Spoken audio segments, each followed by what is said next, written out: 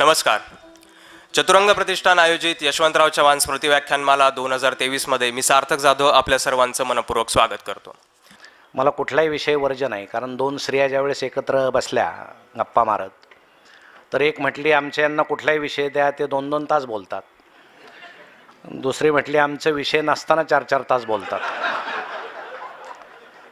त्यामुळं मी दुसऱ्या कॅटेगरीतला मनुष्य आहे. त्यामुळे विषय काय निवडायचा तर आयुष्यातील आनंदाच्या वाटा हा विषय आपण निवडूया असं ठरलं. आणि मध्यंतरी दोन वर्षसुद्धा मला वाटतं ऑनलाईन तुम्ही व्याख्यान मला घेत होते का? बंद होती. दोन वर्ष घेतली नाही कारण ती परिस्थिती तशी होती. म्हणजे आजचा सगळ्यात मोठा आनंद हा आहे की मी बोलायला आणि तुम्ही ऐकायला आहात. कारण दोन वर्षात काय काय घडलं ज्यांना बेड मिळाले ते गेले. अनेकांना मिळाले नाही तेही वाचले. डॉक्टरांच्या प्रयोगातून. कुणी डॉक्टर असेल तर माफ करा. कारण विनोदाला अतिशयोक्तीचं वावडं नसतं. त्यामुळं फार मनावर कुणी घेऊ नका. कुणी सायन्सचे असेल तर त्यांना हे असं कसं बोवा? तर विनोदाच्या फार विश्लेषणात जायचं नसतं. मग आनंद मिळत नाही.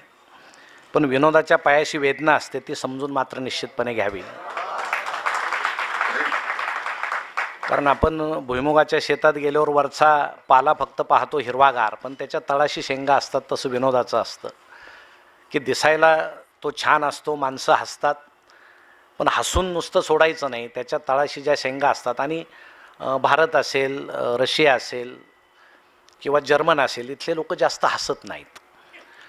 म्हणजे हसतात पण ते असं खूप मनमोकळं हसत नाही म्हणून भारतामध्ये विनोदाला प्रतिष्ठा नाही.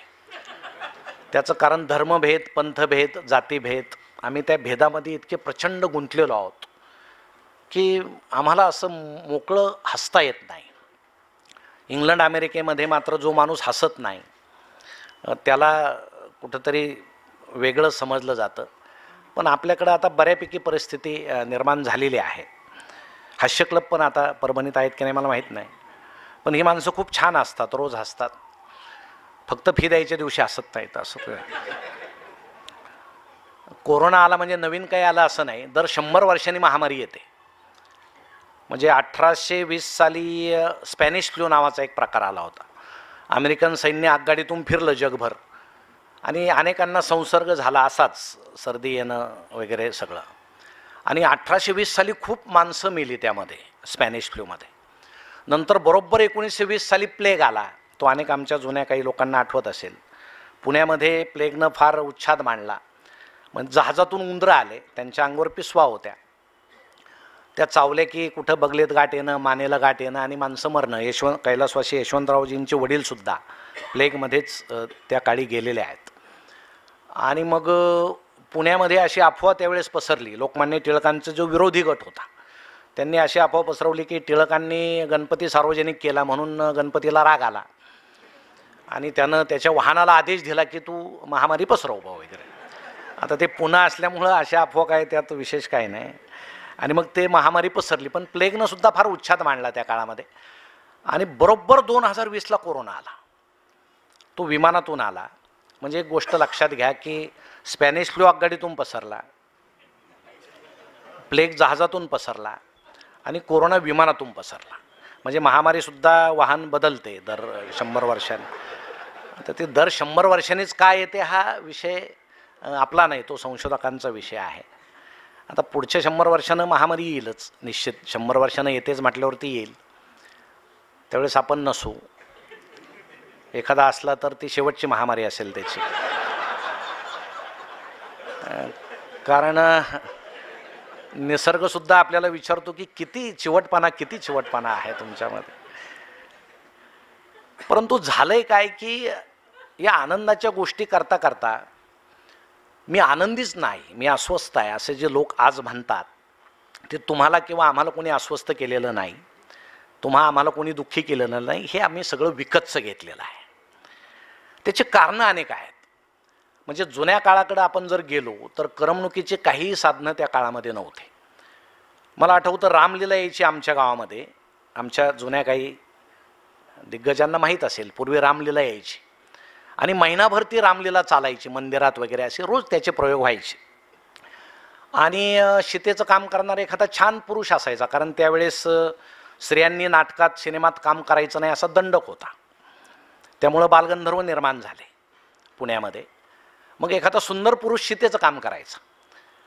आणि तो पुरुष असलेला परवडायचा कारण प्रत्येक प्रयोगाला रावण त्याला पळून न्यायचा. आणि पुरुष असल्यामुळं तो पुन्हा आणून सोडायचा त्याला दुसऱ्या दिवशी. त्यामुळं रामलीला काही कधी बंद पडली नाही त्या काळातली. आणि मग तो प्रयोग संपला की काय व्हायचं की मी आजीबरोबर जायचो पाहायला छोटा होतो. मग त्या रामाच्या लक्ष्मणाच्या पाया पडायला रांग लागायची. मग रांगेत असं जायचं त्यांचं दर्शन घ्यायचं. एके दिवशी आजी मला अशी रांगेत घेऊन चालली आणि मी शेजारी पाहिलं रावण एकटाच उभा होता. म्हटलं आता हा देवासारखाच दिसतो याच्या पाया का पडत नाही कोणी? पाय तर मोकळे आहेत म्हणून मी पटकन त्याच्या पाया पडलो. तर आजीनं धपाटा टाकला की तो दुष्ट आहे. म्हणजे त्या काळात संस्कारसुद्धा सांस्कृतिक कार्यक्रमातून सुद्धा संस्कार त्या काळामध्ये व्हायचे. ही जी माणसं आहेत राम लक्ष्मण सीता हे दिवसा गावामध्ये पीठ मागायचे. आणि त्यांना कुणी दारात उभं करत नव्हतं. त्याचं आम्हाला आश्चर्य वाटायचं की रात्री यांच्या दर्शनासाठी रांग लाव लावणारे लोक कारण ते रामाचं लक्ष्मणाचा वेश घेतल्यावर यांना जर महत्त्व येत असेल तर आपल्याकडं फक्त वेशाला महत्त्व आहे दिखाऊपणाला महत्त्व आहे. यांना दिवसा का पीठ लोक देत नाहीत ही सुद्धा शंका त्या काळात यायची. आणि मग रेडिओ नावाचं एक फार करमणुकीचं चांगलं साधन होतं. गावामध्ये एकच रेडिओ जरी असलं तरी गाळ्यात तो लटकावून मोठ्या आवाजात ते गाणे विविध भारती वगैरे असायचे छान. की बाकीचे सगळे ऐकायचे. रेडिओला लायसनसुद्धा होतं. ठराविक पैसे भरले की रेडिओ सुरू असायचा.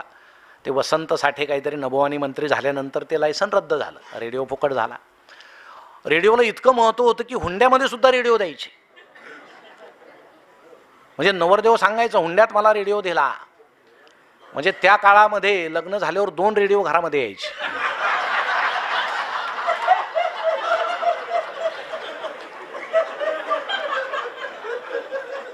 म्हणजे एकाला बंद करण्याची सोय होती. दुसरा बंदच होत नव्हता. ती मजा असायची.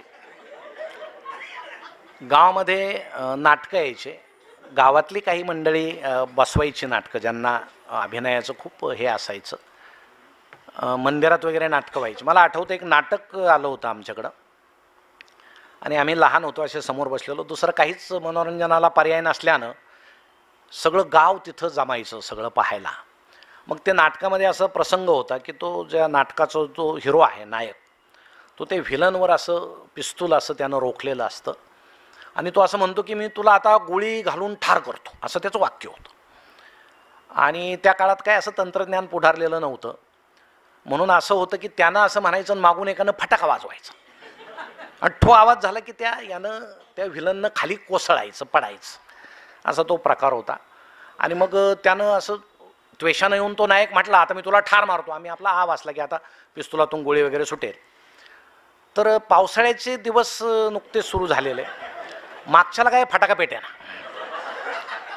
मग एक काडी दोन काड्या तीन काड्या त्याला फटाकाच पेट्याना. हा तर कंटाळला धरून पिस्तूल. बरं आता काहीतरी आवाज झाल्याशिवाय पडायचं नाही. म्हणून तो खलनायक सुद्धा असाच उभा की काहीतरी आवाज होईल मी पडेल बुवा. हिरोई कंटाळा ते आता काय करायचं? आवाज तरी येईना. आणि याचा प्रयत्न सुरूच होता. मग डायरेक्टरच्या लक्षात आलं काहीतरी घोटाळा झाला म्हणून त्यानं हळूच खालून सुरा सरकवला पडद्या खालून आणि तो हिरोला असं म्हटलं की आज जरा अडचण आहे. यानं मार यानं मार म्हणे आता हिरो होता तो हुशार असता ती माणसं. त्यानं पिस्तूल फेकून दिलं तो सुरा उचलला आणि त्या विलनला तो असं म्हटला की तू इतका दुष्ट आहेस तू गोळी वाया घालण्याच्या सुद्धा लायकीचा नाहीस. मग आज मी तुला सुऱ्यानं मारतो. आणि त्यानं असा सुरा पकडला आणि त्वेषानं उघडल्याबरोबर मागून आवाज आला ठोक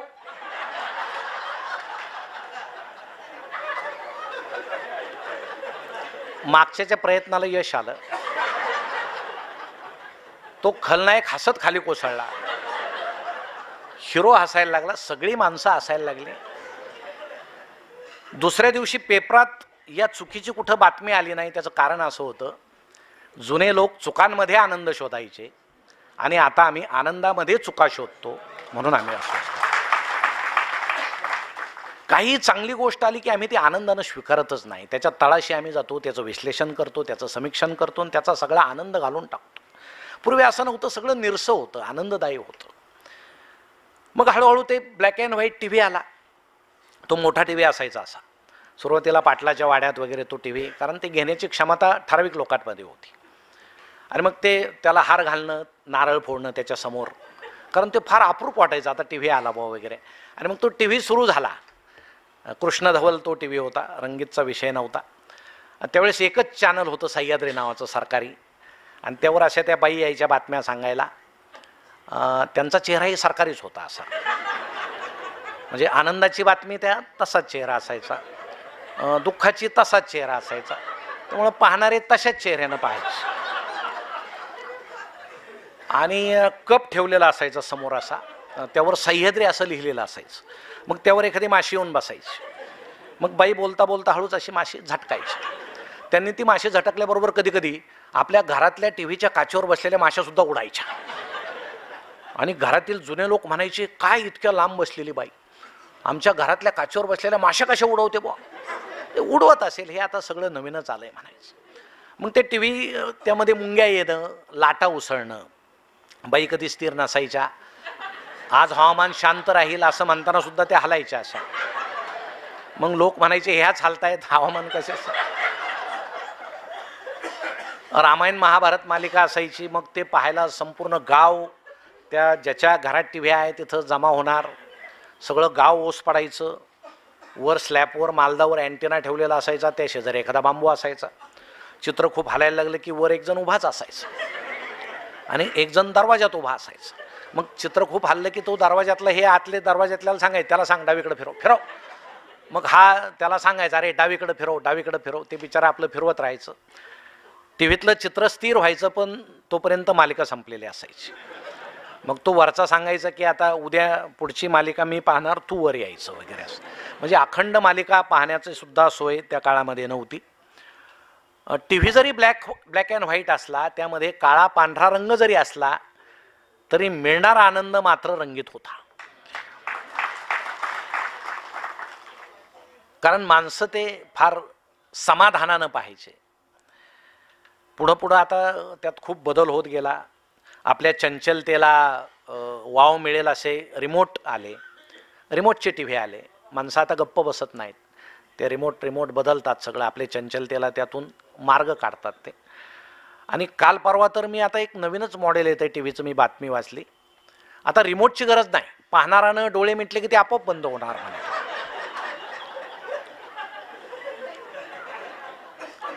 आता पाहणारानं जर कायमचे डोळे मिटले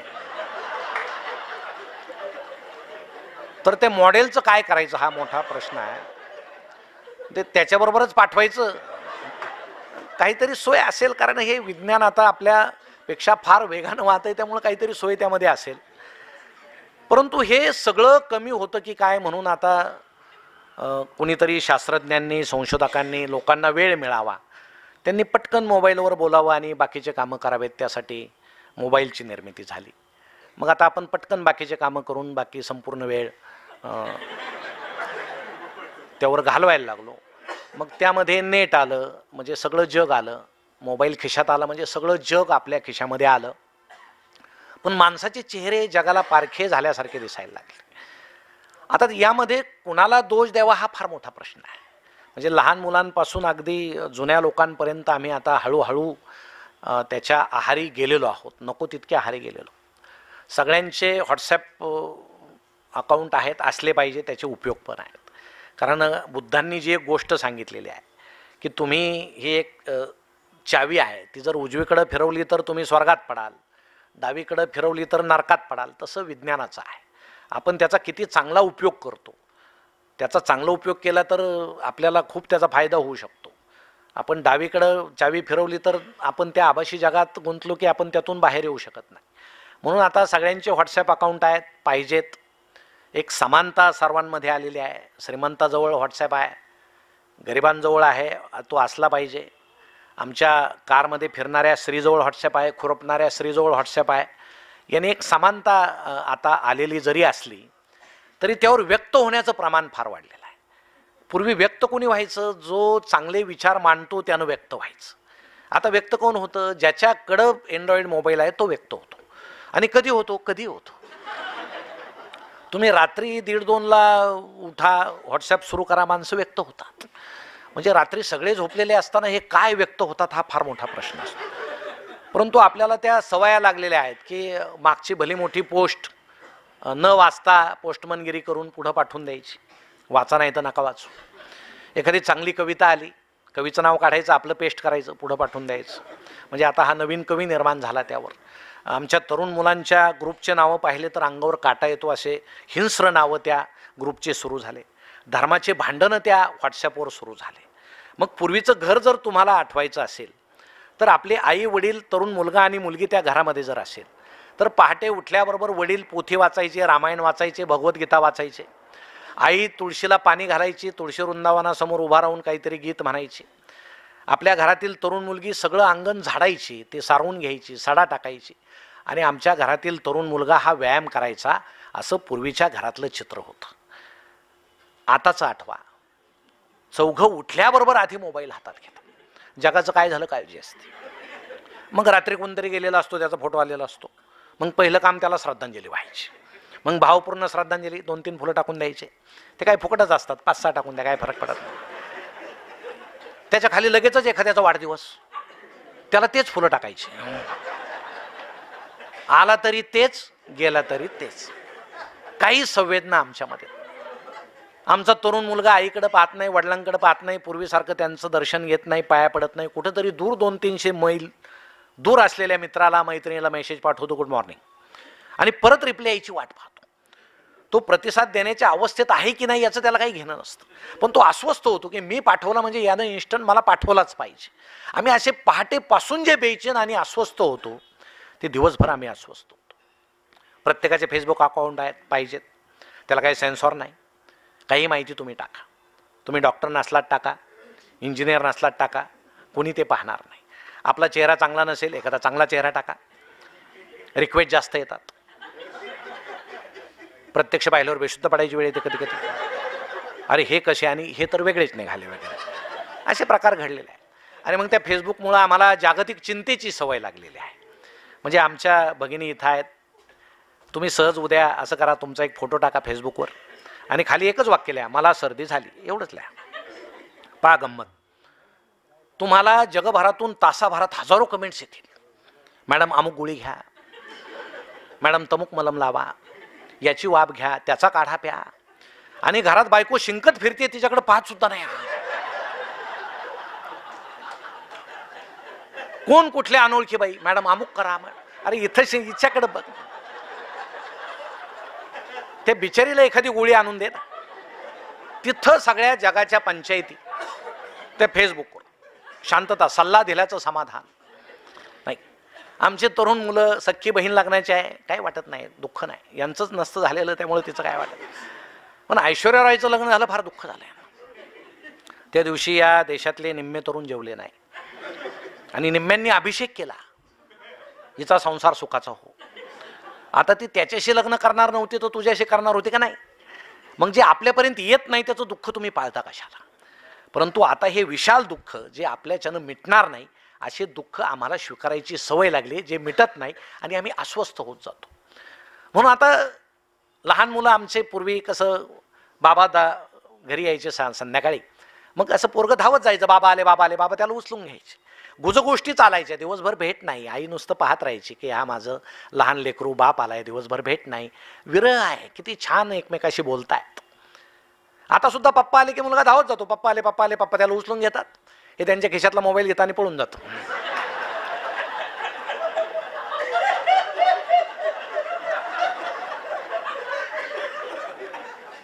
म्हणजे आता ज्या बापाच्या खिशात मोबाईल नाही त्याच्याकडं मुलं सुद्धा येणार नाहीत. अशी परिस्थिती आहे. आणि ही परिस्थिती आम्हीच आणलेली आहे. ही दुसऱ्या कोणी आणलेली नाही. म्हणून या आभाशी जगातून कसं बाहेर पडायचं? आमचे तरुण मुलं एकदा त्यात डोकं गुंतवलं की साईट्सवर साईट साईट्सवर साईट अलिबाबाच्या गुहेसारख्या सगळ्या साईट्स त्या आभाशी सुंदर जगामध्ये आणि मग वास्तव विसरण्याचा आम्ही प्रयत्न करतो. त्यातल्या त्या सुंदर स्त्रिया पाहून पाहून आमच्या तरुणांना आता आमची आईसुद्धा कुरूप वाटायला लागली. पण या मित्रांना एक गोष्ट सांगणं गरजेचं आहे की या जगात सगळ्यात सुंदर कोण असेल तर ती आपली आई आहे. तिनं मेकअप केला तर ती त्या नटीपेक्षा चांगली दिसेल. पण तुम्ही उपाशी मारा. कारण तुमच्या पोटासाठी तिला मेकअप करता येत नाही. आम्ही आदर्श कुणाचा घेतो हा फार मोठा प्रश्न आहे. म्हणजे काट्याकुट्यात काम करणारी आमची आई आमचा आदर्श नाही. कुठंतरी रॅम्पवर तोकडे कपडे घालणारी नटी आजचा आमचा आदर्श असेल तर कुठंतरी याचा विचार करण्याची आता गरज आलेली आहे. पण हे सगळं जर या सोशल मीडियातून होत असेल या विज्ञानातून तंत्रज्ञानातून होत असेल तर सव्वाशे वर्षापूर्वी स्वामी विवेकानंद जे म्हटले होते की पाश्चिमात्य शिक्षणातून चंगळवाद वाढेल तंत्रज्ञान वाढेल आणि मनुष्य मला अजून हवे अजून हवे करील आणि अस्वस्थ बेचैन होईल. हे स्वामी विवेकानंदांनी सव्वाशे वर्षापूर्वी सांगितलेली गोष्ट आज जर घडत असेल तर कुठंतरी हे भानावर येण्याची गरज आहे. म्हणून आता इथं तरुण मुलं किती आहेत मला माहीत नाही. परंतु जुना काळ या परंपरा त्यांना आपण सांगितल्या पाहिजे की कशा परंपरा होत्या? बालपण तुम्ही आठवा. विजारीला मोठमोठाले ठिगळं असायचे त्याचं कोणाला वाईट वाटत नसायचं. आमचे दप्तर म्हणजे सुफला युरियाच्या गोण्या असायच्या. म्हणजे आम्ही ते ब्रँड ॲम्बेसिडरच होतो त्या खताचे गोण्याचे ते घालाय कुणाला त्याची लाज वाटत नव्हती. आता मुलं सॅक वगैरे घेतात मान्य आहे कारण काळ बदललेला आहे. परंतु कपडा थोडा जरी फाटला तरी आई तसं जाऊ देत नव्हती. मुलाला सांगायची थांब मी तुझी विजार शिवून देते.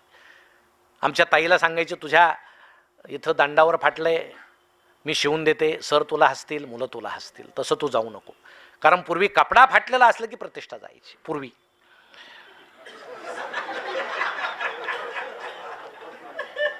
आता चांगली पॅन्ट हजाराला आहे फाटलेली दोन हजाराला आहे.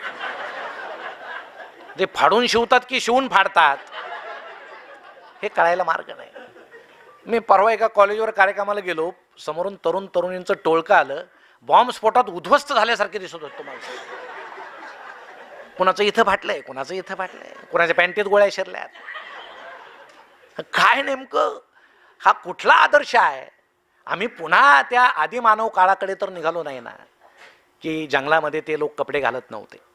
अजून चार पाच पिढ्यांनी तीच वेळ तर येणार नाही ना अशी शंका आता यायला लागली. पूर्वी कच्च्या भाज्या खायची. अग्नीचा शोध लावला. इतके मसाले आम्ही खातो. आमची पचनव्यवस्था बिघडायला लागली. आम्ही पुन्हा कच्च्या भाज्या खायला लागलो.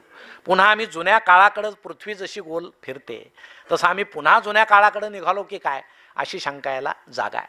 म्हणून या सगळ्या गोष्टी आम्हाला अस्वस्थ करणाऱ्या आहेत की आम्ही सोशल मीडियाचा वापर किती करावा? आणि त्यावर अनेक विनोद येतात भंडाट असतात ते. आणि ऐकण्यासारखे सुद्धा असतात ते नाही की एक मनुष्य व्हॉट्सअप खेळता खेळता चुकून शेजाऱ्याच्याच घरात जाऊन बसला. त्याला समजलंच नाही तो आपला सोफ्यावर बसला जाऊन. आणि त्या बाई आपल्या सिरियल पाहत होते त्यांना वाटलं आपले आले असतील त्यांनी लक्ष दिलं नाही. थोड्या वेळ त्या घराचे खरे मालक फेसबुक खेळत आले. त्यांनी यांना पाहिलं ते दचकून मोठ्यानं ओढले सॉरी हमी चुकून तुमच्या घरात आलो.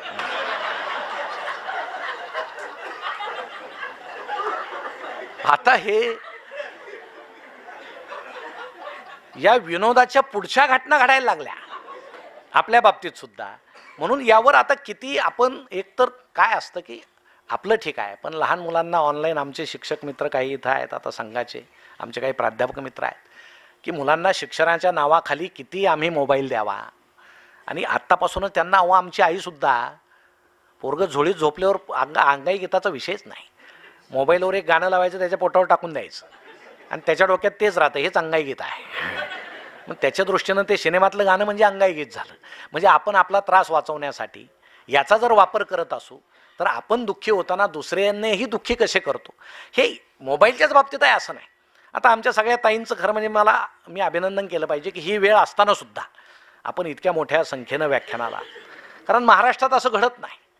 आता सात वाजले की आमच्या सगळ्या स्त्रिया खेड्यापासून सगळ्या प्रवचनाला बसल्यासारख्या सगळं आवरून त्या टी व्ही समोर बसतात. कारण सातला सिरियल सुरू होणार असतं.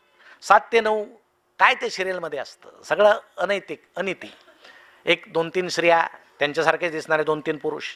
असं ते काहीतरी गोंधळ सुरू असतो आणि त्याचा पाया हा अनिती असतो. आता एका गोजीरवाण्या घरात एकोण भागाचीच मालिका होती? तीन हजार भाग झाले.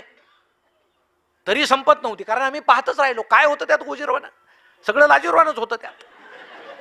ते एका लाजीरवाण्या घरात नाव पाहिजे होतं. पण आम्ही पाहत राहिलो निर्माते बोलत राहिले. अहो त्या सिरियलमधलं एखादा जर पात्र ग गेलं ना मेलं तर फोन करतात. ते निर्मात्याला याला का मारलं? चांगला होता. ते निर्माते लेखकाला सांगतात त्याला परत आणा. लेखक सांगतात कसं आणू? अजून मानधन देतो आणा. तुम्हाला काय करायचं पुन्हा त्याला काहीतरी पुनर्जन्म झाला जिवंत झाला असं म्हणून सगळं आमचं ते सुरू असतं.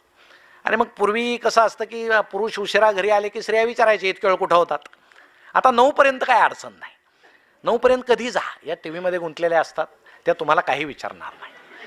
त्यामुळे बरेचसे पुरुष नऊपर्यंत बाहेरच वेळ घालतात असं माझं मत आहे. म्हणजे काही जण त्या नावाखाली घालत असतील. परंतु मग आठ साडेआठला काय होतं? सगळे आमचे मुलगा मुलगी बसलेले असतात आमचे हे येतात. आणि मग जेवण करायचं असतं मग ते भाग चुकवायला नको. कारण ते फार इंटरेस्टेड असतं. काल झालेलं आज बरोबर ते मेंदूमध्ये राहायला पाहिजे.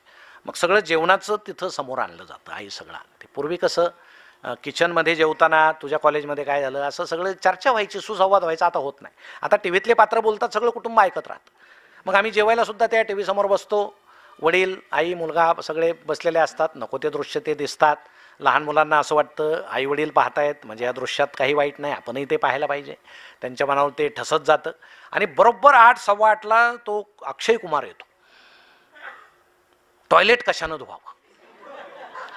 आणि मग ते टाकून ते घासून आहेत माणसं जेवताना पाहतात ते सगळं.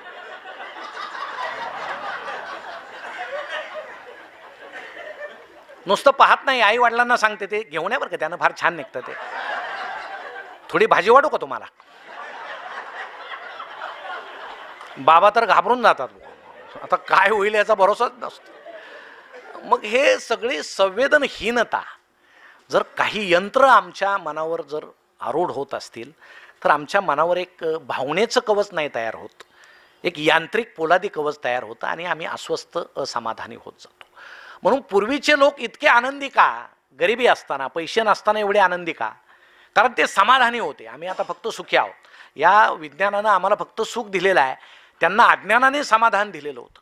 म्हणून अज्ञानात सुख होतं. विज्ञानानं आम्हाला अस्वस्थ केलेलं आहे.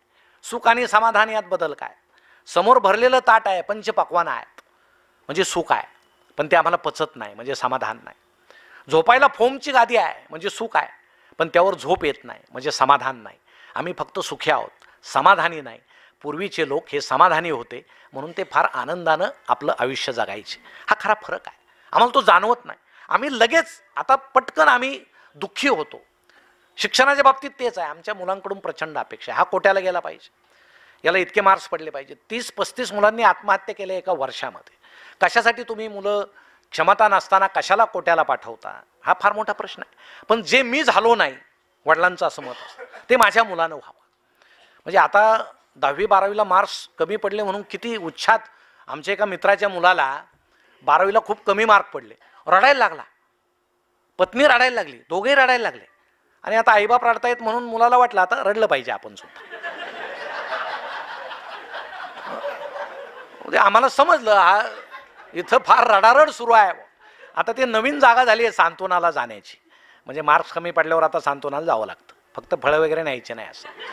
मग आम्ही दोघे तिघे गेलो तिथं ते रडत होते. मग मी गेल्यावर त्या मित्राच्या कानात एकच वाक्य बोललो त्यानं डोळे वगैरे पुसले. अजिबात तो म्हटला मी आता रडणार नाही चहा करा सगळे शांत झाले. आम्ही निघून आलो. काय बोललो मी त्याच्या कानात? एकच वाक्य बोललो. की म्हटलं कधी कधी अनुवंशिकतेचा सुद्धा परिणाम असतो.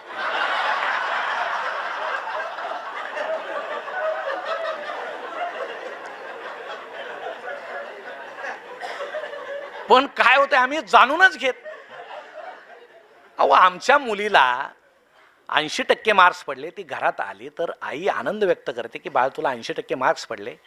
पण ती एक पंधरा वीस मिनिटामध्ये हळूच शेजारी जाते. तुमच्या हिला किती आहे तो? नव्वद. अरे दुःख. माझ्या हिला ऐंशीच आहे तिला नव्वद आहे. मग कुणी पाहुणे आले आणि विचारलं किती? ऐंशी नाही सांगायचे पंच्याण्णव. तिच्यापेक्षा म्हणजे पालकांचे काही ग्रेस मार्क असतात. मग यामध्ये काय सुख आहे? अहो आमच्या हिला ऐंशी पडले तिची क्षमता तेवढी होती. या ऐंशीतच ती आपलं भविष्य उज्ज्वल करू शकते. याची खात्री आपल्याला का वाटत नाही? आपण का इतरांशी स्पर्धा करतो बरोबरी करतो हा फार मोठा प्रश्न आहे. आणि शिक्षण आम्हाला काय देतं? आमच्या जगण्यामध्ये जे संकट येतात त्याच्याशी दोन हात करायला आजचं शिक्षण हे शिकवतं का? त्याच्याशी संघर्ष करायला शिकवतं का? की हे नुसती गुणवत्तेची सूज आहे मार्काची सूज आहे हेच आता समजून घेतलं पाहिजे. लहानपणापासून. आता मराठी शाळेमध्ये सुद्धा फार गमते. म्हणजे आता एकतर शिकवायला वेळ नाही. शिक्षक सांगतात आम्हाला शिकवायला वेळ नाही. मग एक साहेब वर्गात गेले. त्यांनी एका मुलाला उभा केला. गुरुजींना म्हटले सगळ्यात हुशार म्हणे हाच आहे म्हणे. साहेब म्हटले सांग रे साती साती किती? तो म्हटलं पस्तीस. साहेब म्हटले सगळ्यात हुशार. म्हणे हाच आहे. म्हणे कसं काय? म्हणे बाकी सारे पस्तीसच्या हातच म्हणतात.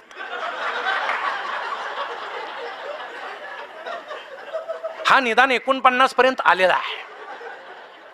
तुम्ही जसं आम्हाला शिकवायला वेळ द्याल तसं मी याला एकोणपन्नास पर्यंत नेणार म्हणे. आम्ही कुणाचा उपयोग काय करून घेतो प्रश्न आहे. अजूनही आम्हाला किती वर्ष झाले स्वातंत्र्य मिळून मूल्यमापनाची पद्धत अजून आम्हाला सापडली. परीक्षा घ्या मुलांच्या मनावर परिणाम होतो मुलं आत्महत्या करतात. कोणते मुलं आत्महत्या करतात? दहावी बारावी. सहावी सातवीच्या मुलांनी केलेले ऐकले का नाही? मग आठवीपर्यंत परीक्षाच नाही. म्हणजे करतंय कोण? सूट कुणाला? म्हणजे आजार काय? टोंग्याला आणि इंजेक्शन पखालीला तसा तो प्रकार. मग आता नवीन मूल्यमापनाची पद्धती नोंद वही आलेली आहे. मग वर्षभर फक्त लक्ष ठेवायचं आणि मुलाची नोंद का? बऱ्यापैकी निर्दोष पद्धत आहे. मग ही मुलगी छान रांगोळी काढते छान खेळते. किंवा हा मुलगा चांगला क्रिकेट खेळतो डाव्या हातानं चेंडू टाकतो त्याचे जे गुण आहेत ते लिहायचे. आणि प्रशासनानं सांगितलेलं आहे की सकारात्मक नोंदी करायच्या नकारात्मक करायच्या नाही. म्हणजे मुलाच्या बालमनावर परिणाम होतो. एकदा गंमत झाली की एका वर्गात एका मुलानं दुसऱ्याची कंपास पेटी चोरली.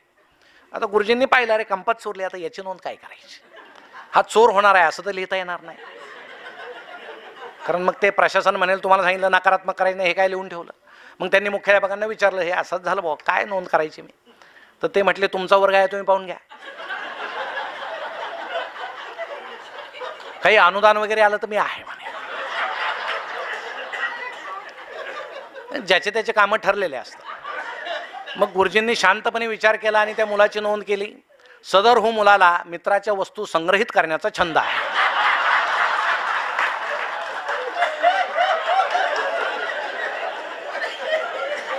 दुसरं करणार काय?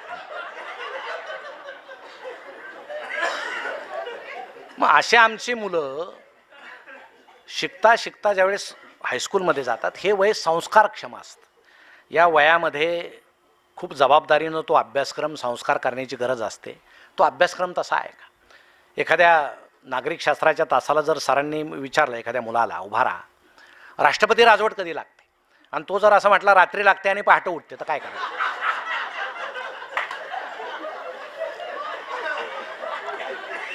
बरोबर द्यायचं की चूक द्यायचं? सर जर म्हटले चूक तर मुलगा म्हणेल सर तुम्ही टी व्ही पाहत नाही का? ते रात्री गेले तिकडं. पहाटे आले मुख्यमंत्र्याचा शपथविधी झाला.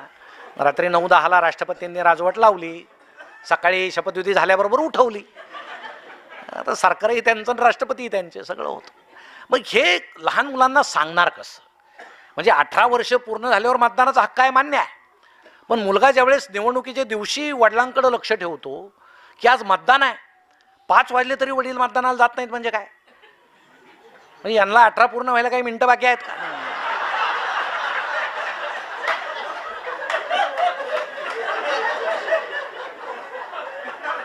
मग आपल्याकडे तर पाचच्या पुढंच खरं मतदान सुरू होतं. मग कुठली तरी गाडी येते.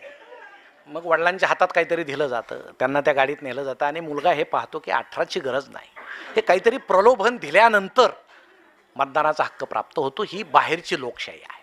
मग आमचा अभ्यासक्रम आमचे पुस्तकं हे बाहेरच्या नागरिकशास्त्रापेक्षा राज्यशास्त्रापेक्षा शंभर वर्षांनी मागे आहे बाहेर जे चाललं ते आम्ही शिकवलं पाहिजे. आम्ही ते शिकवत नाही. अण्णासाहेब हजारे अजून आम्ही शिकवत नाही मराठी शाळांना. लाच लुचपत भ्रष्टाचार आम्ही शिकवत नाही शिकवलं पाहिजे. जे होतंय ते शिकवलं पाहिजे. ते किती वाईट आहे हे सांगितलं पाहिजे. अजूनही पोपटराव पवार आम्ही शिकवत नाही. म्हणजे इतिहासाला जिवंत माणसाचं वावडा आहे की काय मला समजत नाही. पण ते अजून सरकारी थोर झालेले नाहीत. म्हणून जुनेच आमचे थोर आम्ही पुन्हा पुन्हा पुन्हा ते शिकवतो. ते कालबाह्य झाले तरी चांगले. मग काँग्रेसच्या दृष्टीनं थोर वेगळे आता बी जे पीच्या दृष्टीनं थोर वेगळे. थोरसुद्धा वाटून घेतलेले आहे पण ते बिचाऱ्या लहान मुलांना काही माहिती नसतं. दोन ठिकाणी कधी राजकारण करू नये. एक मंदिरात आणि दुसरं शाळेमध्ये. कारण देवाला पक्ष नसतो. आणि लहान मुलं मतदार नसतात. मग ह्या दोन ठिकाणी सोडलं तर सगळीकडे राजकारण करा. पण आमच्या माणसाने कुठलंही हवेचा एक कण सुद्धा सोडलेला नाही. राजकारण करायचं म्हणून. आणि मग हेच मुलं ज्यावेळेस उच्च शिक्षण घेण्यासाठी जातात उच्च शिक्षणात तर उच्च कोटीची लबाडी सुरू आहे तुम्हाला सांगू म्हणजे मुलांना कंटाळाच येतो आता. ते सरांना म्हटले ना प्राध्यापक सर चला आज पिरियड घेऊ. तुम्ही दोघे तिघेच आहात जाऊ द्या आपण उद्या घेऊ. मग उद्या जास्त आहे आपण उद्या घेऊ. मग दुसऱ्या दिवशी येतात जास्त. मग सर म्हणतात आता चला घेतो पिरियड. नाही सर आज आम्हाला कंटाळा आलेला आहे आपण उद्या घेऊ. मग तिसऱ्या दिवशी दोघांनाही कंटाळा आलेला असतो. चौथ्या दिवशी दोघंही मुळात असतात कारण त्या दिवशी रविवार असतो. म्हणजे आता बाहेरचे क्लासेस चांगले हेच प्राध्यापक जर बाहेर क्लास घेत असतील तर ते चांगले शिकवतात. वर्गात चांगलं शिकवत नाही हे सूत्र आम्हीच तयार केलेलं आहे.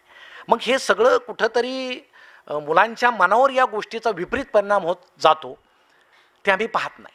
मग आता होतं काय की मुलाचा शिक्षकांवर विश्वास नाही शिक्षकांचा मुलांवर विश्वास नाही आणि समाजाचा दोघांवरही विश्वास नाही. ते गंमत तुम्ही ऐकले असेल. इंजिनिअरिंगची मुलं त्यांनी ज्यावेळेस एक चार्टर्ड विमान तयार केलं सगळे प्राध्यापक त्यात बसले. आणि त्या इंजिनिअरिंग कॉलेजचा जी एस वर गेला आणि सगळ्या प्राध्यापकांना म्हटला हात जोडून की तुम्ही जे जे आम्हाला शिकवलं जे तंत्रज्ञान आम्हाला शिकवलं ते वापरून आम्ही चार्टर्ड विमान त्याचं इंजिन वगैरे सगळं तयार केलेलं आहे. काय झालं असेल? सगळे म्हटले खाली चला. हे आपल्या देवट्यांनी तयार केलंय खाली व्हा म्हणे. सगळे खाली उतरले प्राचार्य एकटेच बसून होते. एक प्राध्यापक त्यांना म्हटले सर तुम्ही ऐकलं नाही का? आपल्या देवट्यांनी तयार केलं आहे खाली व्हा. प्राचार्य म्हटले अजिबात नाही. माझा माझ्या विद्यार्थ्यांवर पूर्ण विश्वास आहे. मला खात्री आहे हे विमान उडणारच नाही.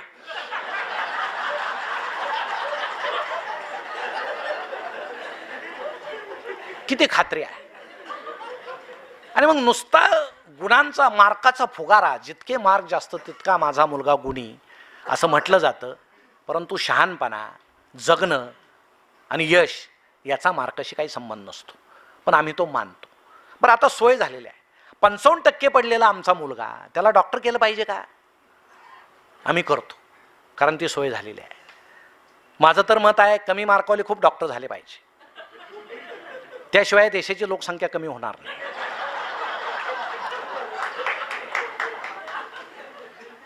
मग पंचावन्न टक्क्याचा मुलगा उचलायचा पंचावन्न लाखाची बॅग घ्यायची. कॉलेजमध्ये जायचं बॅग सहित पोरगं ठेवून घेतात. झाला डॉक्टर आणि तो डॉक्टर होऊनच बाहेर येतो. अशा गमती सुरू झाल्या. आणि मग आता हे जे नवीन मुलं ज्यावेळेस समाजात येतील काय होईल? हा प्रश्नच आहे. एक डॉक्टर ज्यावेळेस ऑपरेशन थिएटरमध्ये गेले पेशंटला घेऊन कोपऱ्यामध्ये हार पडलेला होता. ते पेशंटनं पाहिलं तो दचकला. म्हणे डॉक्टर साहेब हा हार कशाला इथं डॉक्टर म्हटले माझं पहिलंच ऑपरेशन आहे. सक्सेस झालं तर हा हार मला.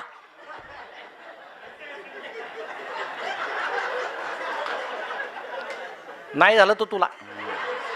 वाया जाणार नाही. गमतीच आहे. कोणी डॉक्टर असलं तर माफ करा. म्हणजे आ- अतिशय नवे जे आहेत पन्नास पंचावन्नवाले त्यांच्यासाठी मी हे सांगतो. म्हणजे गमती आहेत मी एक डॉक्टर ज्यावेळेस पेशंटला इंजेक्शन देत होते ते मोठ्यानं म्हणत होते देशमुख घाबरू नका. देशमुख घाबरू नका. पेशंट म्हटलं डॉक्टर माझं नाव देशमुख नाही. ते म्हटले माझं नाव देशमुख आहे.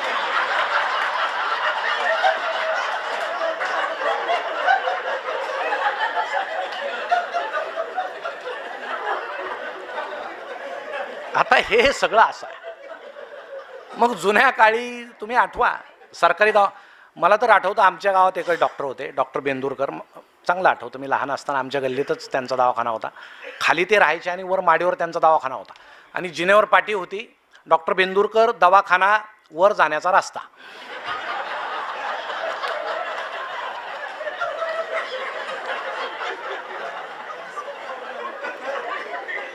त्यामुळे वर गेलेला पेशंट खाली येईलच. तरी आम्ही अजून आहोत. चांगले डॉक्टर होते. आणि दुसरा सरकारी दवाखाना असायचा. पूर्वी जायचे लोक तिथं. म्हणजे मला ज्यावेळेस एकदा काहीतरी आजार झाला तर आजीनं मला आठवतं तिथं नेलं मला सरकारी दवाखान्यात. हे पाच सहा पेशंट असे उभे होते. दूर दूर उभे होते. सरकारी डॉक्टरांची एक म्हणजे मला त्यांचं फार कौशल्य असतं त्यांच्यामध्ये. ते बरोबर हात न लावता किती ताप आहे ओळखतात. स्टेथास्कोप न लावता ते हृदयाची धडधड ओळखतात दूरनच ओळखतात ते. सरकारी असल्यामुळे असे ते. असे ते सगळे उभे होते पाच आणि ते प्रत्येकाला बोलवायचे आणि एक अशी मोठी पांढऱ्या गोळ्यांची बरणी होती. ती अशी मूठ भरून ती कागदात अशी जाब होतो. सगळ्याच पा पाच सहा लोकांना त्याच गोळ्या. आणि तुम्हाला सांगतो गोळीचा आकार आणि घशाच्या आकाराचा काही संबंध नव्हता. म्हणजे माणूस आजारातून वाचेल पण गोळी गुंतून मरतो की काय? सरकारी गोळ्या. ते जुने लोक कुठून गोळ्या खायचे? नवीन मुलं म्हणतात आमचे आजोबा फार घाबरतात घाबरायचं नाही तर काय करायचं? त्या काळात गोळ्या म्हणजे सरकार कशात गुंतून मारण्याची शक्यता होते. घरूनच अशी काचेची वगैरे बाटली न्यायची औषधाला. त्याचं ड्रम असायचं भाड कोण होतं डॉक्टर किती चमचे काय नाही पेत राहा ते एक्सपायरच होणार आहे. अहो चार पाच दिवसांनी ते पाच सहा सगळे पेशंट गावात मस्त फिरायचे. एकच गोळी एकच औषध. त्यावेळेस कुणाच्या शरीरात पांढऱ्या पेशी सुद्धा नव्हत्या. म्हणजे कोणी डॉक्टर म्हणत नव्हते मेल्या. आता सगळ्याच्या मरायला लागल्या कारण आता पांढऱ्या पेशी निर्माण करणारे औषधं निर्माण झाले. आणि हे नवीन मेडिकल सायन्सचं फार दुर्दैव आहे. आणि आम्ही त्यात गुरफटलेलो आहोत की आता आधी औषध निघतं आणि नंतर त्या औषधाला लागू पडेल असा आजार काढला जातो. हे हे जर तुम्हाला पटत नसेल तर स्वाईन फ्लूचा अभ्यास तुम्ही करा. अमेरिकेतून आलेला स्वाईन फ्लू त्या टॅमिफ्ल्यू गोळ्याच्या कंपनीमध्ये कोणाची भागीदारी होती? तो आजार आल्यानंतर ते कशी त्या कंपनीची नफेखोरी वाढली वगैरे तो वेगळा विषय आहे तो मी घेत नाही. पण हे वास्तव आहे. आणि हे वास्तव जगताना आम्ही का त्या क्षेत्राकडे जातो फार मोठा प्रश्न आहे. म्हणजे दोन तरुण मुलं ज्यावेळेस रस्त्यानं चालले एक जण मोठ्यानं ओरडला म्हणे. सारख्या बहिणी समोरून येत आहेत म्हणे सुंदर आहेत. त्यांनी वेण्यासारख्या घातल्यात रंग त्यांचा सारखा आहे. तर मित्र त्याला म्हटलं अरे बाबा ते दोन नाही ती एकच मुलगी आहे. या वयात असं दिसत असतं चल पुढं म्हणे. ते पुढं जातात हा पुन्हा ओरडतो म्हणे काय झालं? आता दोन म्हशी येत आहेत म्हणे समोर. सारखे शिंग सारखा रंग. तुला झालंय काय? अरे तू सुद्धा दोन दोन. तर तुझा सेंटर सरकला म्हणे. तुला प्रत्येक गोष्ट दोन दोन दिसायला लागली काही खरं नाही. आपल्याकडे एक नवीन डोळ्यांचे डॉक्टर आले चल आपण त्यांना दाखवू. जातात दोघेजण मग डॉक्टर बसलेले असतात ते दोघे त्यांच्यासमोर बसतात. हा मोठ्यानं ओढतो डॉक्टर तुम्ही सुद्धा दोन दोन. डॉक्टरांना नीट सांगा प्रॉब्लेम काय आहे? हे दोघेच बसलेले असतात. तर मित्र सांगतो की एक अर्धा तास झाला असेल याला प्रत्येक गोष्ट दोन दोन दिसते प्रत्येक प्रतिमा. डॉक्टर सांगतात किरकोळ प्रॉब्लेम आहे. पण याच्यासाठी तुम्ही चौकं चौघं कशाला आले म्हणे?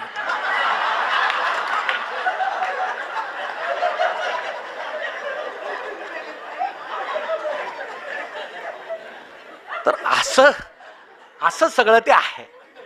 तरी आम्ही आनंद शोधतोय आनंदात आहोत. हे फार मोठं. म्हणून आपल्या मुलांना जर कमी मार्क्स पडत असतील त्याला चित्रकला चांगली येत असेल तर त्याला कॅनव्हास आणून द्या ब्रश आणून द्या. तो चांगला खेळत असेल त्याला बॅट आणून द्या. या कलेकडं खेळाकडं फार मोठी म्हणजे तो पुढं गेल्यानंतर खूप चांगला देशात तो नानावू शकतो.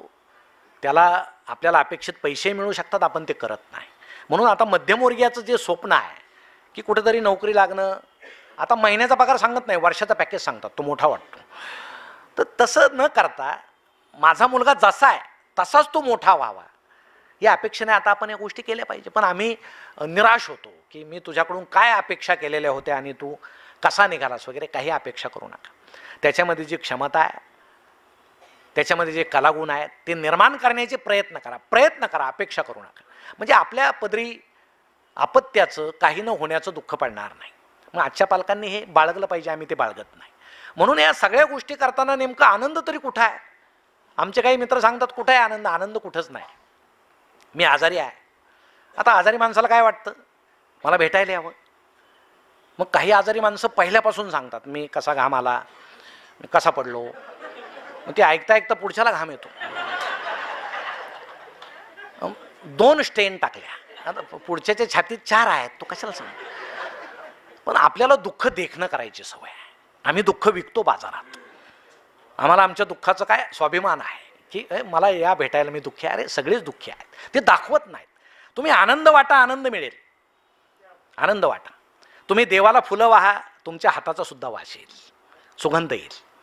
पण आम्ही ते फुलं वाहत नाही. आपण जेवढा आनंद वाटू तेवढा आनंद आम्हाला मिळेल. आनंद साध्या साध्या गोष्टीत असतो त्याला पैसे द्यावे लागत नाही.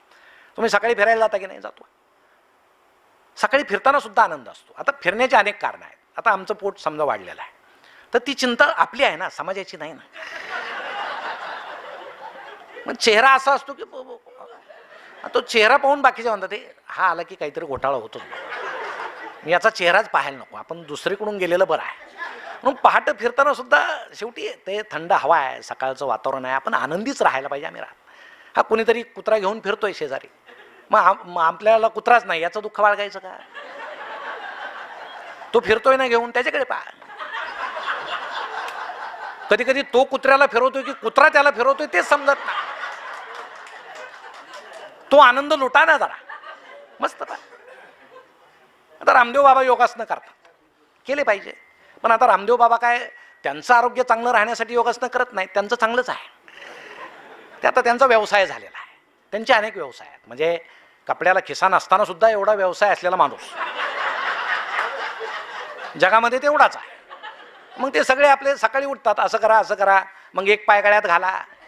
आता आपली क्षमता असेल तर आपण करावं. त्यांनी गळ्यात घातलं की आपण घालायचं. तो निघत नाही. मग आमच्या हिला म्हणायचं एवढा काढ. ते म्हणते काढ नाही दुसरा घाला. दिवसभर असेच बसा.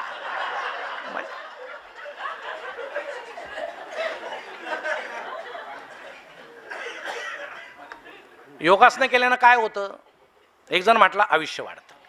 मग वाढलेल्या आयुष्यात काय करायचं? तो म्हटलं योगासनं करायचे. प्रश्नच आहे. अवघडच आहे. मी फार कडक पथ्य पाळतो. का? मला खूप जगायचं. खूप जगून काय करायचं? पथ्य पाळायचे. जगणं म्हणजे काय? जगणं म्हणजे तेवढंच नाही. मग आमची दृष्टी मी तुम्हाला गंमत सांगतो. मी एकदा पहाटे फिरायला गेलो. असं नुकतंच असं फटफटलेलं होतं. थोडा दुसरा अंधार होता. आणि मला कुणीतरी स्त्री गुड मॉर्निंग म्हटली दुरून. मी गुड मॉर्निंग म्हटलं. घरी आलो. आता असा आनंद काय लपवता येत नाही ना.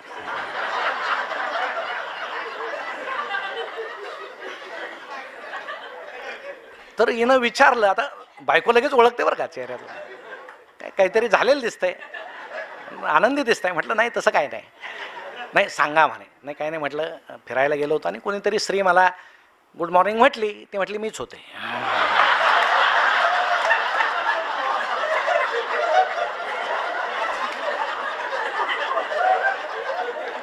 तुम्हाला सांगतो लगेच चेहरा पाडला बा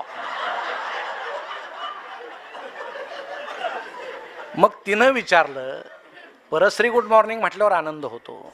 बायको म्हटल्यावर दुःख होतं असं का? विचार करण्यासारखी गोष्ट आहे ना. सुख आपल्या जवळ आहे. आम्ही नाही ते मानत. ते मानण्याची क्षमता ती दृष्टी आमच्यात आली पाहिजे. आम्ही ती सकारात्मक दृष्टी पाहिजे आमच्यामध्ये. आम्ही कायम नकारात्मक. काही लोक तुम्हाला सांगतो अशा आहेत ना प्रत्येक गोष्ट त्यांना असं वाटतं की नकारात्मक आहे.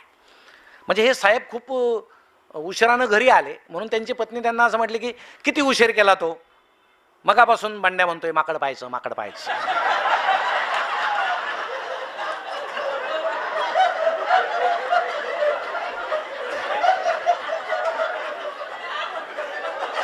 आता तो जर सकारात्मक दृष्टीचा असेल तर काय म्हणेल? थोडा उशीर झाला तुझा आवर मांडण्याचा आवर आपण बागेत जाऊन माकड पाहू. सरळ गोष्ट आहे. पण जो नकारात्मक आहे तो काय म्हणेल? पोरासमोर मला माकड म्हणतेस. आता ते म्हणेल म्हणायची काय गरज आहे? म्हणजे मनातली मनात म्हणेल. आमच्या स्त्री अजून शिष्टाचार पाळतात नाही का?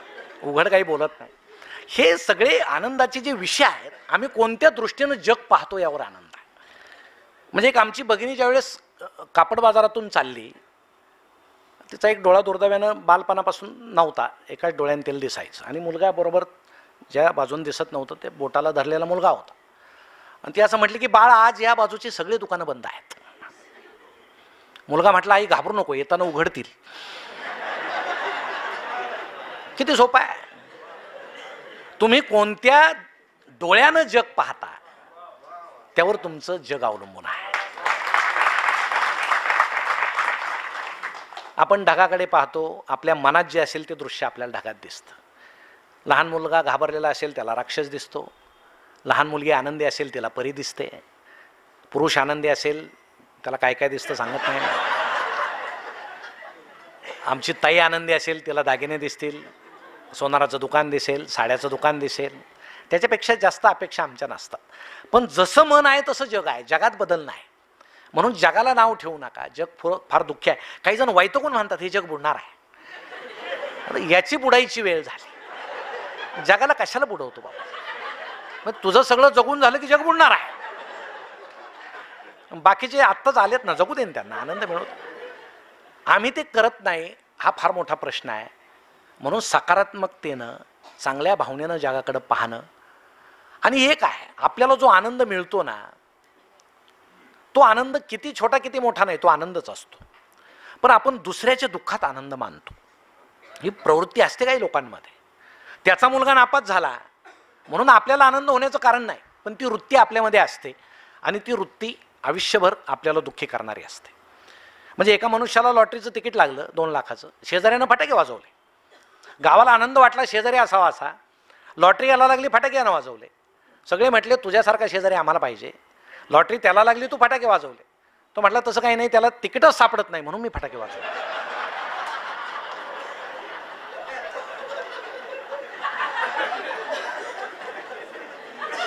मग ही जी वृत्ती आमच्यामध्ये आहे ती सुद्धा विलक्षण आहे.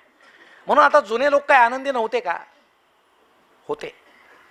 आमच्या जुन्या ताई काय मेकअप करत नव्हत्या का? करत होत्या. आमची आई सगळ्यांचीच आई. जुन्या काळी चेहरा थंड पाण्यानं एकदा धुतला किंवा सकाळी आंघोळ केली की असं मेन लावायची. मग त्या भिंतीच्या मातीच्या भिंतीत कुठंतरी एक आरशाचा तुकडा रुतलेला असायचा. मग ती अशी खाली वाकायची कपाळ दिसत नसायचं त्याशिवाय. मग असं लाल जर्द कुंकू असं लावायची. मग पदर घ्यायची पदराचं असं एक टोक जिभेनं ओलं करायची आणि असं छान वर्तुळ काढायची. कधी शाळेत न गेलेले. सुंदर. असं ठसठशीत कुंकू. सौभाग्य. त्यावेळेस सुद्धा ते असं टिकाऊच होतं कुंकवासारखं. म्हणजे म्हणजे आता टिकली आली यात तुमचा दोष नाही. मग आता भरोसाच राहिला नाही. म्हणजे कुंकू निघत नव्हतं. आता काल परवा मी पाहिलं एक लग्नामध्ये लग्नाला उशीर झाला. म्हटलं काय नवरी आली नाही का? आलेली आहे म्हणे. नवरीची आई आली नाही. मेकअप करते. मला वाटतं हे मेकअप करणं ही आमच्या ताईची गरज नाही. हे मेकअप तयार करणाऱ्या कंपन्यांची गरज आहे. पण आम्ही ती करतो. आमचं नैसर्गिक सौंदर्य आम्ही हाताने विस्कटवून टाकतो. या ज्या सगळ्या छोट्या छोट्या गोष्टी आमच्या जीवनामध्ये आहेत त्या दुःख निर्माण करणाऱ्या आहेत आनंद निर्माण करणाऱ्या नाहीत. म्हणून आमची एक गत आहे. आता जुनं सोडायचं नाही आणि नवं तर पकडायचं ही वृत्ती आमच्यामध्ये आहे. आता कोरोनामध्ये काही लग्न झाले नाही का? झाले. किती होते लग्नाला माणसं? चार पाच. ते संसार काय सुखी झाले नाही का? झाले. कशाला पाहिजे एवढे लोक? दोन दोन तीन तीन हजार लोक जमा करता कशाला? आशीर्वाद घ्यायला? जेवढे जास्त तेवढं काडीमोड होण्याची जास्त शक्यता आहे. कमीच राहू द्या ना. पण आम्ही कोरोना संपला माणूस सुधारणार नाही. पुन्हा गडगंज लग्न बरं ज्याच्याकडे आहे त्यानं करावं. ज्याच्याकडं नाही तो कर्ज काढून ते करतो. कशासाठी करतो आम्ही? कुणासाठी करतो? आणि हे आता सगळे प्रकार सुरू झालेले आहेत. अहो जुना काळ तुम्ही आठवा. आता आम्ही मिष्टान्न करतो. काय होतं जुन्या काळी? ती लापशी करायची. तुमच्याकडे करायचे का? गव्हाचा भारडा असायचा गुळ आणि ती लापशी. ती आदल्या दिवशी लापशी केली की ती झाकून ठेवायची धोत्राखाली. एक धोत्राचं कापड त्यावर अंतरायचं. आणि दुसऱ्या दिवशी अशी पंगत बसायची. मग पंगत बसली की त्या पत्रवाळ्यासुद्धा म्हणजे जमिनीतून त्यात फार फरक नसायचाच. ते असे असायचे आणि कुठेही बसायचं गल्लीमध्ये. मग ती लापशी वाढायला सगळं गाव पळायचं. एक ज्येष्ठ माणूस त्या पंक्ती पाहत फिरायचा. तो नुसता पाहत नसायचा. ते लापशी द्यायला सुद्धा तिथं खोऱ्यानं लापशी घमेल्यामध्ये द्यायची. एक ज्येष्ठ माणूस तिथं उभा असायचा. मग शेवटची पंगत जर मोठी बसली तर हा ज्येष्ठ माणूस त्याला जाऊन सांगायचा अरे आता पंगत तर मोठी बसली. लापशी किती उरली? एवढं. अरे मग आता संपेल. लोक आपल्याला हसतील यांच्या लग्नात. लापशी संपली बॉ काय करायचं मग? तर ते म्हातार बुवा काय करायचे? शेजारी एक लोखंडी पहार असायची तापलेली. ती पहार घ्यायची आणि ते लापशीच्या त्या ढिगाऱ्यात अशी खुपसायची. ती खुपसल्याबरोबर सगळ्या लापशीला करपट वाशायचं. आणि लोक लापशी खात नसायचे. म्हणजे वाढली नाकाच ए नको बाबा वाश येत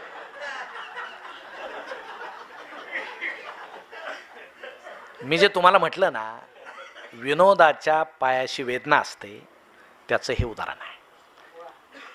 की कुठंतरी गरिबी झाकण्यासाठी या खाटात त्या साराच्या कडेभोवती माणसं उभे असायचे बादले घेऊन पाण्याच्या. सार पुरला नाही की भाडकणाचे पाणी होतच राहायचे. नुसतं पाणी. शेवटच्या पंक्तीला नुसतं पाणीच यायचं. पण कोणी कधी नावं ठेवले नाही. कारण आता आपल्या आशीर्वादानं कुणाचं भलं झालं आलो तर आपलं जेवा बुवा काय.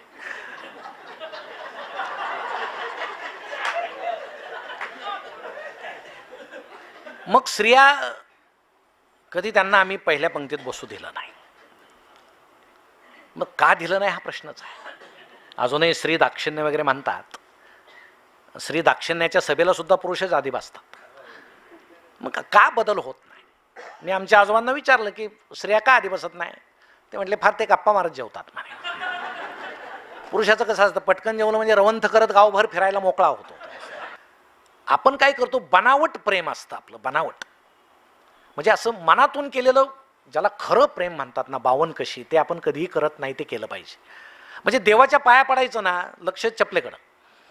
ते देवावर केलेली खरी भक्ती नाही. जाऊ दे ती चप्पल गेली तर आपण म्हणतो दरिद्री गेली बुवा. जाऊ द्या गेली तर. पण तुम्ही देवासमोर आलात म्हणून विवेकानंदांनी प्रेमाचे जे तीन त्रिकोण सांगितलेले आहेत की प्रेमामध्ये व्यवहार नसावा. एक निस्सीम प्रेम असावं जसं विवेकानंदांचं रामकृष्ण परमहंसांवर होतं. म्हणजे एक राजा ज्यावेळेस एका साधूला म्हटला चल महालात मी तुला संपत्ती देणार आहे. तो म्हटला मी भीक घेत नाही. नाही म्हणे प्रेमानं देणार आहे चल. म्हणून साधू त्याच्याबरोबर गेला. आणि राजा म्हटला माझी पूजेची वेळ झाली. म्हणून राजा देवा पुढं जाऊन असं मागायला लागला की हे देवा माझं ऐश्वर वाढव माझं राज्य अजून वाढव माझं शरीर अजून सदृढ कर. तर साधू निघाला तर राजा म्हटला काय झालं? तर ते म्हटले एका भिकाऱ्याकून मी भीक घेणार नाही. तूच इतका भिकारी आहेस की तू राजाला भीक मागतो तुझ्याकून मी कशाला काय घेऊ? तर हे प्रेमात तो भिकारीपणा नको प्रेमात भय नको. एखादी स्त्री रस्त्यानं चालली एक कुत्रं धावून आलं तर ती स्त्री घाबरेल. पण तिच्याबरोबर जर मुलगा असेल तर स्त्री त्या मुलाला मागं करून त्या कुत्र्यासमोर असं उभं राहील. हे प्रेमात भय नसतं. हे हे खरं प्रेम असतं. पण आमचं सगळंच कसं बनावट झाल्यामुळं आता आमचे काही तरुण मुलं इथं आहेत. काय प्रेमाचे प्रकार आहे व्हॉट्सअपवर काहीतरी पाठवायचं तिकडून मेसेज येतो दिवसभर हे लटकत्यात पोरांना फिरतं काय झालं? काय आता काय सांगायचं तुम्हाला? काय झालं? अहो काय आता ते इमरोजची गोष्ट वाचली ना तुम्ही परवा? नसली वाचली तर वाचा. आणि त्याच्या पलीकडे एक उदाहरण तुम्हाला सांगतो. माहिती असावं म्हणून. तुम्ही जर चाळीस गावला गेलात त्या फलाटाच्या कडेला एक बंगला आहे. तर आता मध्ये घरं झालेत पण पूर्वी तो बंगला आणि सरळ रेल्वेच असायची तिथं. आपण ते अलीकडं उतरलो की तो पूल ओलांडून पलीकडं तुम्ही जा. के के मूस हा के के मूस कॉलेजमध्ये मुंबईत शिकत असताना विल्सन कॉलेजमध्ये त्याचे आई वडील ज्यावेळेस निघाले चाळीसगावला व्यापारासाठी त्याची एक मैत्रीण होती. आणि रेल्वेमध्ये वाटं लावायला येताना ती त्याला असं म्हटली की मी उद्या रात्रीच्या रेल्वेनं येईल आपण दोघं एकत्र जेवण करू. म्हणून ते निघून आले. त्या बंगल्यामध्ये राहायला लागले. रात्री एक दीडला ती जनता एक्सप्रेस येते. हा के के मूस कागदी बुके घेऊन पायरीवर यायचा की ही आज रात्रीच्या मेलने येईल उद्या येईल परवा येईल. किती वर्ष किती वर्ष वाट पाहिली? पन्नास वर्ष. पन्नास वर्ष के के मूस रोज रात्री पायरीवर येऊन उभा राहायचा. ती आली नाही. आणि तो के के मूस कोण होता? हे त्या बंगल्यात जाऊन पहा. तो किती फोटोग्राफर कसा होता? त्यानं काय काय फोटोज काढले? तीनशे जागतिक दर्जाचे बक्षिसं त्याला मिळाले. त्यानं एकही पाकिट उघडलं नाही. किती डॉलर्स आणि किती पैसे? कधी चाळीसगावला गेलात तर पहा. हे याला प्रेम म्हणायचं. विनाकारण आपलं काहीतरी वल्गरपणा ज्याला आजच्या भाषेमध्ये म्हणतात. अहो पूर्वी प्रेम करायचेत ना. म्हणजे ते राजपुत्र चिठ्ठी लिहायचा आणि कबुतराजवळ द्यायचं. कबुतर ते बरोबर त्या राजकन्यालाच नेऊन द्यायचं. ते काय राजाच्या खांद्यावर जाऊन बसत नव्हतं. म्हणजे प्राणी आणि पक्षी आपल्यापेक्षा प्रामाणिक आहेत. हे मनुष्य जे लबाडीनं वागतो ना त्यामुळं हे सगळी समाजव्यवस्था बिघडलेली आहे. आणि आता आमचे काही जुने लोक असं म्हणतात मला की ठीक आहे आनंदी राहा. एक व्हिडिओ आहे मी पूर्वी तुम्ही तो नंतर ऐका किंवा ऐकू नका पण ते व्हिडिओचा एक फायदा मला फार वेगळा झाला. सेवानिवृत्तीनंतर कसं जगावं? आता मला रोज सेवानिवृत्त लोकांचे फोन येतात आणि सेवानिवृत्त लोकांचे फोन आले होते काय एक दोन मिनटाचे नसतात. त्यांनाही बोलावंसं वाटतंच तेवढा वेळ मी देऊ शकत नाही. परंतु जगामध्ये किती वेदना लपलेली आहे. ते मला त्यांना समजतं. म्हणून मी नेहमी म्हणत असतो आपलं वय होत गेलं ना निसर्गाच्या विरोधात तुम्ही वागू नका. जसं वय होत जाईल निसर्ग आपली सोय करत असतो. म्हणजे तुम्हाला कमी ऐकू यायला लागलं ना निसर्गानं केलेली सोय आहे. कारण तुमच्याविषयी कोणी चांगलं बोलेल याचा भरोसा राहिलेला नाही. पण आपल्याला पुन्हा पुन्हा ते यंत्र कानात घालायची सवय आहे. तुम्हाला निसर्ग ठार बाहेरा करतो खूप आनंदी करतो. घरामध्ये तुम्ही थांबा सासू सून किंवा मुलगा सून समोर बोलते तुम्हाला ऐकूच येत नाही ना आनंदी आहे. आणि तुम्ही जर ते यंत्र घातलं ना फाडकन काहीतरी ऐकू कशाला यंत्र घालता? तुम्हाला कमी दिसायला लागलं निसर्गानं केलेली सोय तुम्हाला पाहण्यासारखं अपेक्षित काही राहिलेलं नसतं. सगळं दुसर दुसर होत गेलेलं असतं. पुन्हा आम्ही जाडजाड भिंगाचे चष्मे लावून पाहतो आणि नको ते पाहिल्यानं ते दुःख आमच्या पात्रात पडत. म्हणून वृद्धाप काळामध्ये सुद्धा आनंदी जगण्याचे कसे प्रकार आहेत की थोडा आपला अहंगंड जगण्यातला आपण सोडला पाहिजे. आपण आता करते नाहीत आपला मुलगा करताय. कुठेतरी आपण कधी काळी घेतलेला black and white T V मुलानं विकला. तुम्हाला नाही विचारलं विकला. कुणाच्या सांगण्यानं विकला तुम्हाला माहीत आहे? काही बोलू नका. नवीन कलर टी व्ही आणला. आणल्यावर हे सांगा की बाळ तुला माझी किती काळजी आहे? मला कमी दिसायला लागलं म्हणून तू मोठा टी व्ही आणला. त्या मुलाला मनात लाज वाटेल. की आपण बाबांना एका शब्दानं का होईना विचारायला पाहिजे होतं. खेड्यामध्ये पारावर दोन वृद्ध ज्यावेळेस बसले एक जण म्हटला काय जमाना आला म्हणे काय झालं? माझी सून मला चहा देताना डोक्यावर पदरच घेत नाही. दुसरा म्हटला मला चहाच देत नाही. तुला पदराचं काही पडलंय का? घे ना बाबा गुपचूप पे. तुला अजूनही पदरच पदर पाहत सुटला तर चहाच मिळायचा नाही. हे बदलणं गरजेचं आहे. जसं आमचं आणि एक लक्षात ठेवा पहाटे सूर्य उगवल्यानंतर जशी आकाशामध्ये लाली गुलाबी असते सुंदर तशी मावळताना सुद्धा असते. म्हणजे आपलं वृद्धत्व सुद्धा सुंदर असतं. आपण ते केलं पाहिजे सुंदर. आपण ते करत नाही. आपण आपल्या नव्या पिढीला नावं ठेवतो आपत्यांना नावं ठेवतो जसा काळ बदलेल तुम्ही सुद्धा तुमच्या वडिलाच्या फार पुढे होते चार पावलं. आता तुमचे मुलंही चार पावलं पुढं असणार आहे हे कुठंतरी मनानं लवचिकतेनं जर आता पेन्शन असेल त्याचं बरं असतं जरा. पंचवीस तारखेपासून जरा चहामध्ये दूध जास्त पडतं. म्हणजे सगळ्यांचंच मी सांगत नाही आलं जास्त पडतं सुंठ वगैरे. मग एक तारखेपर्यंत असा सुंदर चहा मिळतो स्पेशल एकला पेन्शन झाली की दोनपासून कोरा सुरू आमचं. पंचवीसपर्यंत अडचण नाही. आमचे एक ओळखीचे बाबा होते पेन्शन होते त्यांना. ते बँकेत गेले की ते सुनेनं पेन्शन घेतली की पटकन ते पायमोज्यामध्ये दोन तीन नोटा लापवायच्या. आपल्याला खर्चायला पाहिजे भाऊ ते लक्षात आल्यापासून आता सून रोज त्यांना सांगते वासील पाय पायमोजे धुवायला द्या रोज असं. काही तुमच्याजवळ ठेवणार नाही कोणी. आणि ते काही आपल्याला नको सुद्धा. एक ठीक आहे आपण आनंदी राहतोय आनंदानं कसं जगायचं? एक कार्यित्री प्रतिभा आणि भावयित्री प्रतिभा नावाच्या दोन प्रतिभा आहेत. कार्यित्री प्रतिभा निर्माण करते कथा निर्माण करते कविता निर्माण करते काव्य निर्माण करते बोलायला भाग पाडते. ती आपल्यात नसेल म्हणजे दुःख नाही. भावित्री प्रतिभा म्हणजे त्याचा आस्वाद आपल्याला घेता आला पाहिजे. मग आपल्यात कार्यत्री नसेल भावित्री तरी आहे ना? पण ती जर नसेल तर आपल्यामध्ये आणि शिंगे आणि शेपूट नसलेल्या पशुमध्ये आपण ते पशूच आहोत. एखादा चांगलं खेळत असेल आनंद लुटा ना? काही खरं नाही. चित्र आहे काही समजतच नाही. ही कविता आहे बोगसच आहे. कथा याचं काय खरं आहे? वागता नुसताच हसून गेला. तुम्हाला पाहिजे काय?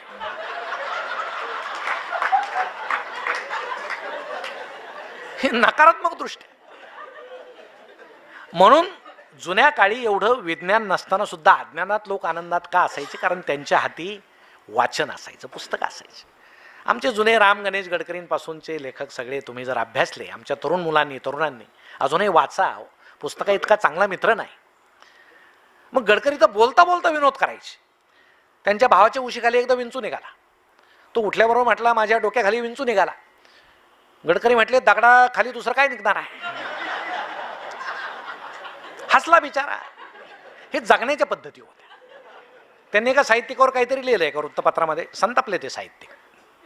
मग दुसऱ्या दिवशी मॉर्निंग वॉकला भेटले ते. गडकरी त्यांच्यासमोर गेले आणि त्यांना म्हटले नमस्कार. ते साहित्यिक म्हटले मी मूर्खाशी बोलत नसतो. गडकरी म्हटले मी बोलतो ना.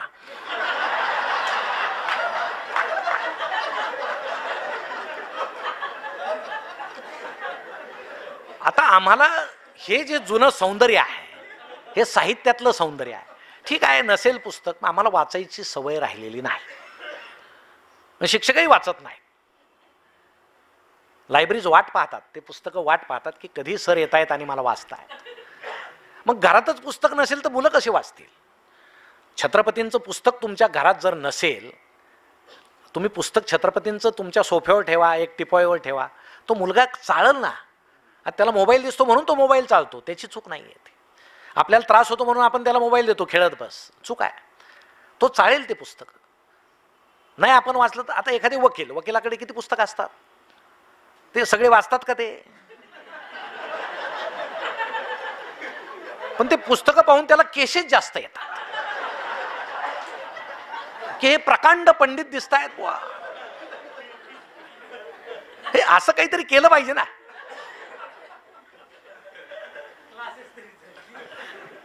पण हे आम्ही करत नाही. म्हणून आमच्या जगण्याच्या पद्धतीच ज्या आपल्या हातात आहेत. नवीन पिढीवर संस्कार काय नाही भाऊ माझ्याकडून.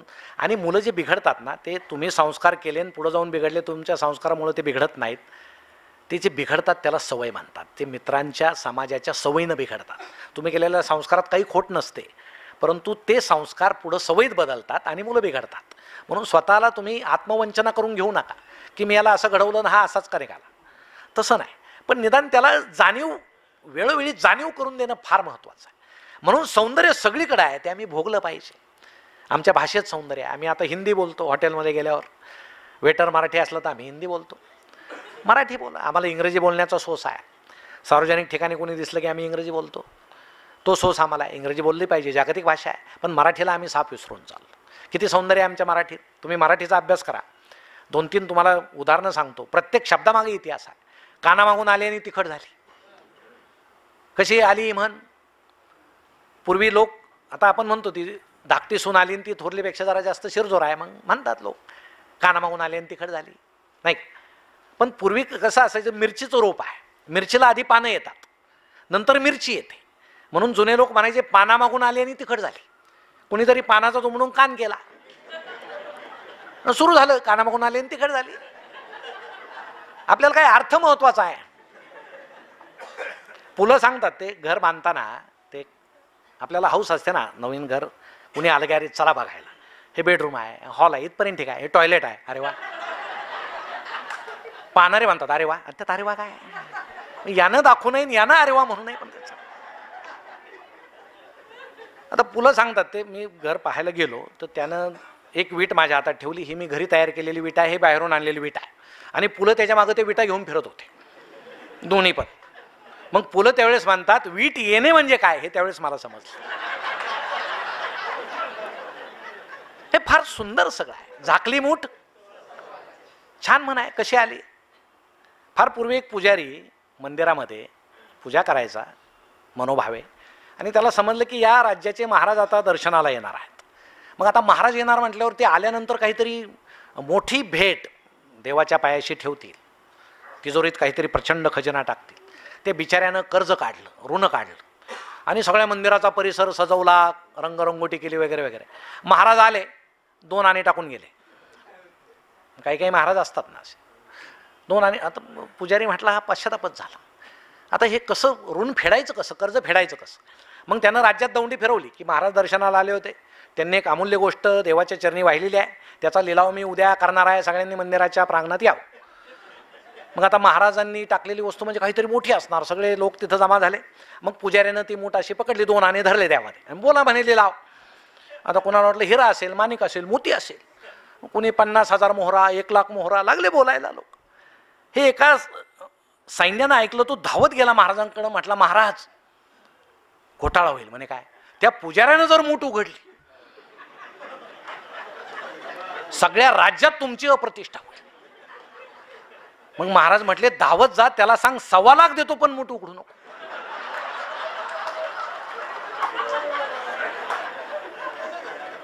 तेव्हापासून झाकली मूठ सव्वा लाख. आपण ती झाकली ठेवतो ना अनेकदा. आणि त्यात मजा आहे. ह्या भाषेपासूनच्या जगण्यापर्यंत पण आता आमच्या तरुण मुलांची भाषा आता आखूड होत चालली. आता ओके लिहितच नाही के. थँक्स लिहित नाही. आता काय टी एक्स वगैरे असं. ते आता आखूड होत चाललं हे त्यांना फक्त एक समजतं की संवेदना पोहोचल्या पाहिजे. पण फक्त संवेदना पोहोचतील वेदना पोहोचतील की नाही माहीत नाही. तर हे सगळं भाषा आखूड होणं आमच्यामध्ये अस्वस्थता येणं या तंत्रज्ञानानं आमच्यावर स्वार होणं यातून कुठेतरी मार्ग काढून आपल्याला जर आनंदी जगायचा असेल तर आनंद दूर नाही. आनंद आपल्या कुटुंबात आहे. कोरोनामध्ये दोन वर्ष आपण घरामध्ये होतो. पुरुष कधी नव्हे ते नाईलाजानं कोहिना घरामध्ये होते. एकत्रित कुटुंब पद्धती नाईलाजानं कोहिना अनुभवली. पूर्वी कसं जयवंत दळवी सांगतात त्यांच्या घरी जवळजवळ चाळीस माणसं होते कोकणामध्ये.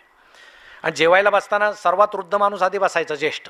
मग त्याच्यापेक्षा कमी व्हायचा. सगळे शेवटी मुलगा असे सगळे जेवायला रांगेत बसायचे. मग सगळ्या स्त्रिया वाढायला यायच्या घरातल्या. डोक्यावर पदर घेऊन वाढायच्या. त्यावेळेस साड्यांना पदर होते.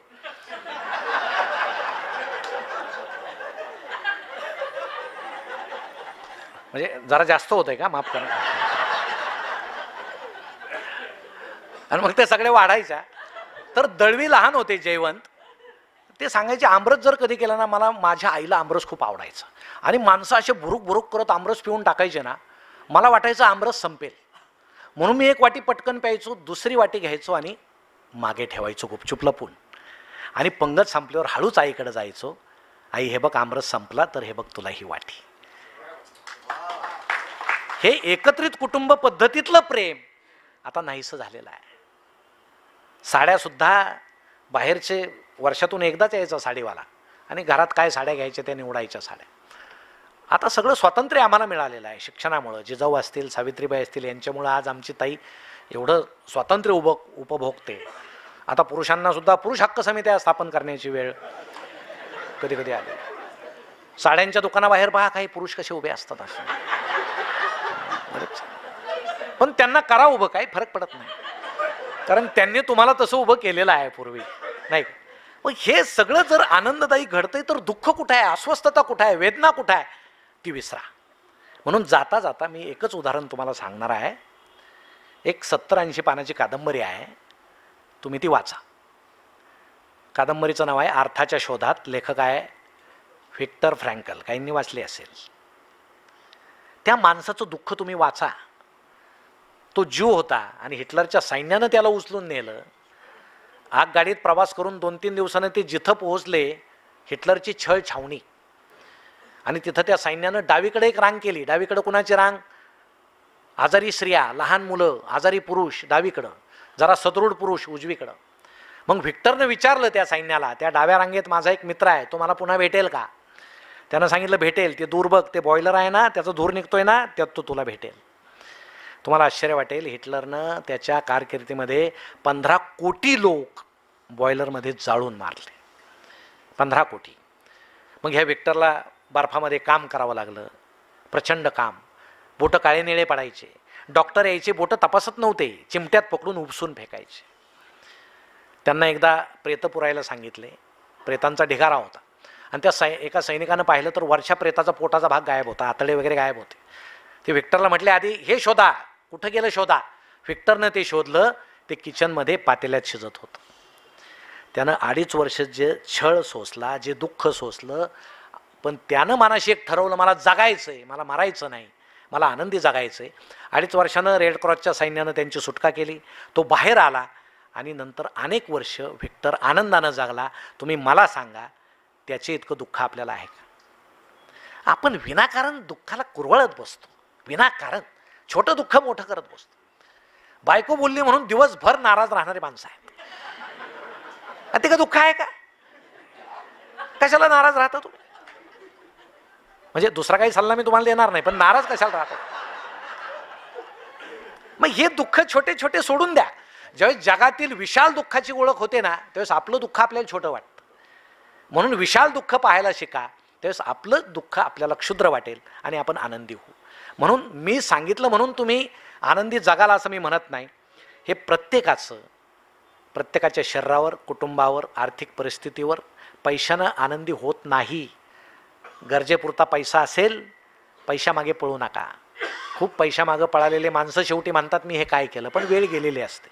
गरजेपुरता पैसा असेल माणसं आपल्या जवळ असतील प्रेम करणारे असतील तर निश्चित आपल्याला आनंद मिळेल.